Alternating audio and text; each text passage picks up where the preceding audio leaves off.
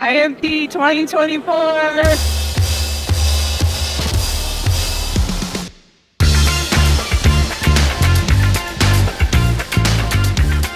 At IFT First, there is a place for everyone. Coming here to learn a lot about these trends. The passion. It's where you find solutions that will help you grow in your careers. And how we can continue to grow our very famous brand. It's a great opportunity to learn more about the CPG industry and the food industry in general. What is going on at the moment in food science, learning from others. They see the future for the for the food industry. Networking, I already have some friends now.